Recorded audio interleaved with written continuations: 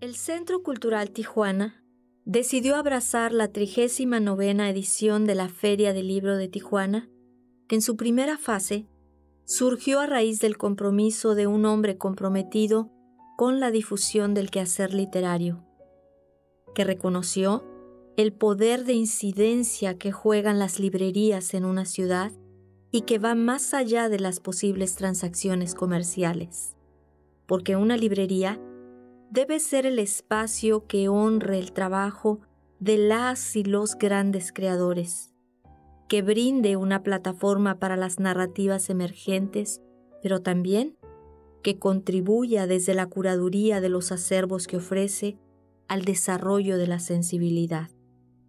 Con esa visión, don Alfonso López Camacho inició este gran proyecto hace 39 años como una botella lanzada al mar, esperando que los años y la respuesta cada vez mayor de los lectores encontraran el mensaje desde la otra orilla. Después, vino la consolidación de la Unión de Librerías de Tijuana, que con la concurrencia de instituciones y actores culturales y la comunidad lectora le fueron dando continuidad.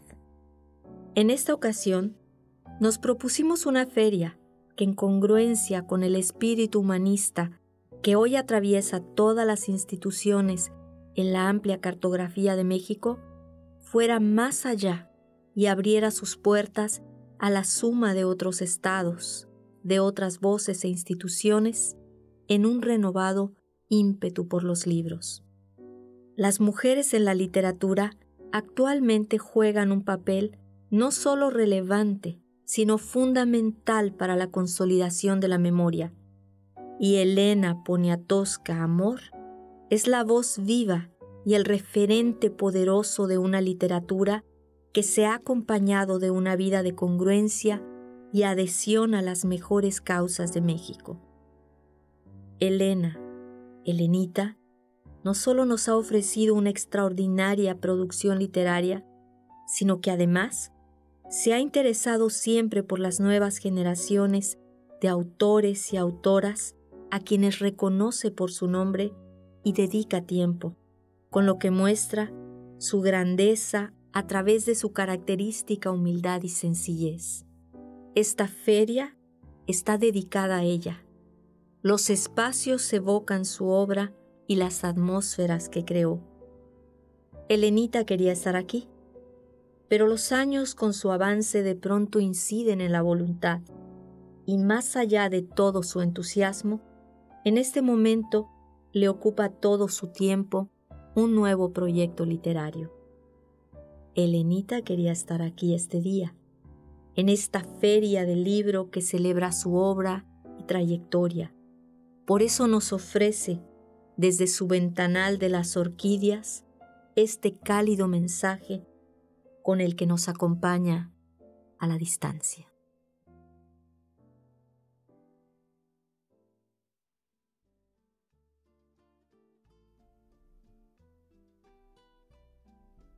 Y puedo leerlo. Ay, qué bonito. Ay, pues sí te pusieron amor, muchas gracias. Oh, sí. Está muy bonito. Además es un apellido muy hermoso. Pues es muy bonito el amor. Claro. Qué bonito. Se lo agradezco muchísimo. He ido a Tijuana en muchas ocasiones. Las primeras veces fui con Carlos Monsiváis, que era muy afecto, muy adicto a ir a Tijuana. Y también fui con José Emilio Pacheco. Íbamos los tres, dos hombres y una mujer. Y ellos tenían un interés enorme en pasar a San Diego al otro lado porque entraban a las librerías en inglés y compraban libros para, para llenar a un baúl sus maletas llenas de libros, pesaban muchísimo. Y eh, la gente en Tijuana me acuerdo que conmigo era muy, muy, y con ellos también, obviamente, pero pues yo tenía, no daban las conferencias al mismo tiempo, sino unas tras otras y, eran muy cálidas, muy interesadas, muy apasionadas. Y a mí me, me emocionaba mucho porque estando tan cerca de Estados Unidos, siempre terminaban una conferencia o terminaba yo y empezaban todos a corear México, México, esto me emocionaba muchísimo y además, este, bueno, las conferencias eran sobre temas que ellos me pedían. Uno de ellos que les interesaba mucho era lo que había pasado en Tlatelolco, la noche de Tlatelolco, y temas también políticos, ¿no? También el tema de la, soldadera que estuvo en la Revolución Mexicana, que era este, Jesús Apalancares, la de Hasta Jesús mío, y, y temas de también, hubo un congreso en un momento dado en que fueron varias escritoras de México, recuerdo, varias, este, y de chicanas. Fue muy importante, mm. que fueran escritoras norteamericanas que ya no hablaban tanto español, lo hablaban, pero ya fueron. Fue una chicana muy reconocida hoy, se llama Sandra Cisneros. Así que sí hubo mucho movimiento mucha pues era como, como finalmente una, una gran defensa de México y un gran acto de amor a México. Bueno, es un gusto enorme pensar que en la frontera con Estados Unidos, en Tijuana, haya todo este como un parapeto enorme de, de cultura, de defensa de México, de, además de divulgación de lo que es México a través de sus grandes escritores. Siempre vamos a ir a Tijuana. Yo fui alguna vez, fui incluso con, hace mucho a una reunión feminista de mujeres organizada por Elena Urrutia hace muchísimos años, que fue muy, muy, para mí muy impresionante, sobre todo porque por primera vez oía escritoras chicanas valiosísimas como Sandra Cisneros y Ana Castillo, que hablaban de su mexicanidad y de lo que había significado para ellos y para ellas, ¿no? Irse allá a, bueno, vivir en Texas o no en Tijuana, pero en otros lugares cercanos donde los dos idiomas son muy cercanos.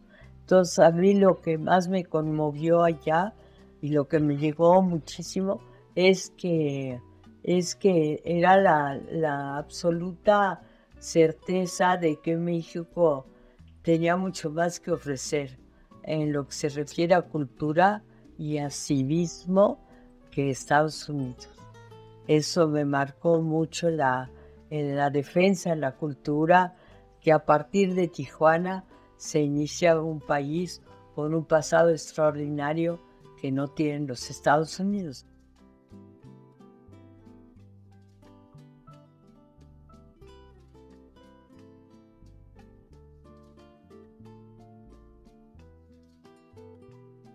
Pero lo de México era un estallido de un estallido de civilización y de cultura, ¿no? Porque qué más grande civilización puede haber que nuestras pirámides y todo lo que hemos logrado eh, a través de la cultura, nada más con ir a Oaxaca, dice uno, ay, ojalá y no fuéramos inferiores a nuestro pasado. Muy orgullosa, me da un gusto enorme. Y ahora me van a dar un premio también que, que voy a atesorar, que es el Ernesto Cardenal en Nicaragua. No más que no me lo dan en Nicaragua, pero porque Sergio Ramírez, Joconda Belli, todos mis, mis amigos o los escritores que yo aprecio, pues están fuera.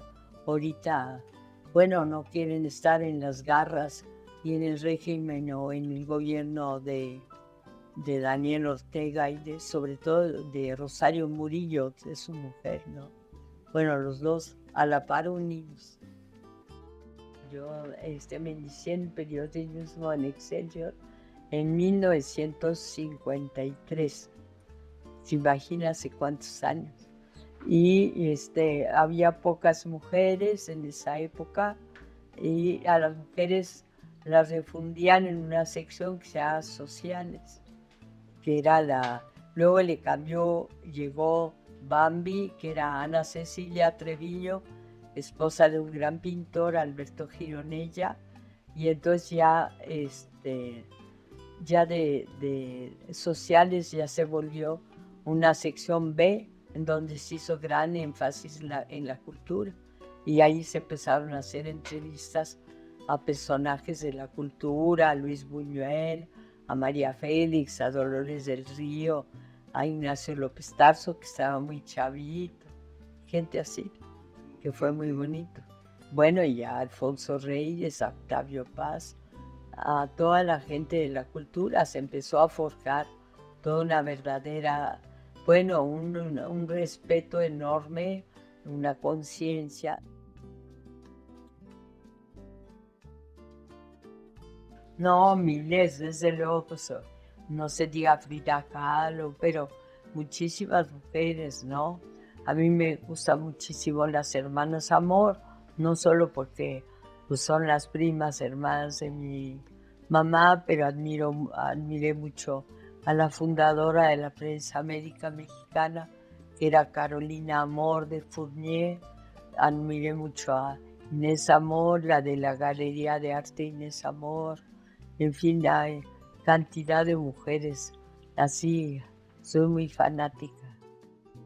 Ahora hay mujeres, este, Sabina Berman, que es buenísima, aparece en televisión, hace también comentarios políticos y se habla muchísimo de Cristina Rivera Garza, que está en Estados Unidos, allá vive y enseña, en fin, una serie de mujeres ya muy destacadas, ¿no?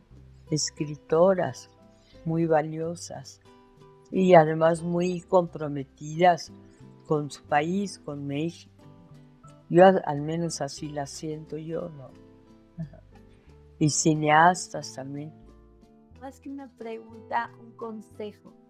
Cuando una mujer siente que su deber ser en la vida o su razón de estar en el mundo es escribir, pero tiene que lidiar maternidad, con el trabajo, con, con las responsabilidades de, de una casa, ¿qué debe hacer?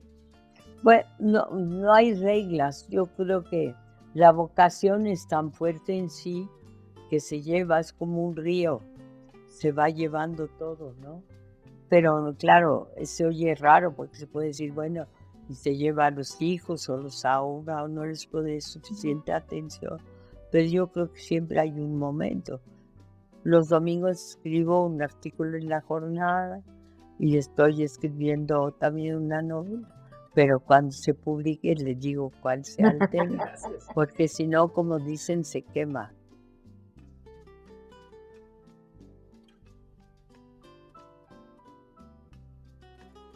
Baila, grita, este, se cuelga del techo. Saca espadas. Sí, yo, yo lo vi la primera vez en Los Ángeles, que a mí me habían invitado a dar una conferencia y pensé, le dije yo después de él, no tengo ni por qué dar nada de conferencia porque él ya lo cubrió todo.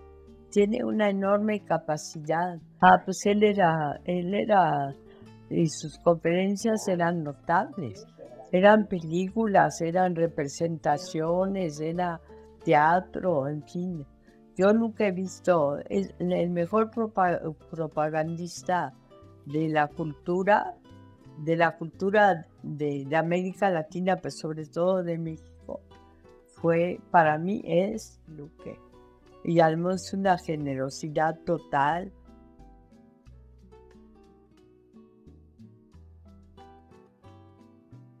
Ah, que tengo mucha, muchísimo agradecimiento, muchísimo cariño por él, porque él siempre me escribe y, y se lo pues me siento muy acompañada, muy apapachada y me encanta recibir noticias suyas. Yo primero creí que era un viejito, porque como estoy viejita, yo creí que el único que se los únicos que voy a entre, interesarse eran de mi edad. Entonces fue una enorme sorpresa descubrir que era joven. Y, y él luego, luego me, me mandaba cartas y yo pensaba, ay, pero qué buena gente este viejito. Qué lindo es, este, qué cariñoso. Qué suerte tengo, qué suerte tengo. Lenita, ¿cómo se llama su gato? No, pues se llama Monsiváis. bueno, se llama Monsi, se fue y solo se quedó Vais. Ah. es que los dos, a uno se llama Monsi, Vais, la que está allá arriba, es mujer y se llama Vais. Los invito con gran alegría, con gusto, con entusiasmo a la feria de Tijuana. Ojalá yo pudiera ir, pero ojalá y bueno, la Virgen de Guadalupe, Dios, mi ángel de la guarda, me quitara unos cinco años de encima. Entonces ya sería más fácil para mí. Aunque prometo ir apenas tenga esa posibilidad. Los veo en ese culto. Muchas gracias, Elenita. ¿De qué? Muchas gracias, qué gusto verla. Ha sido un placer estar con usted. Ah, muchísimas gracias. Encantados.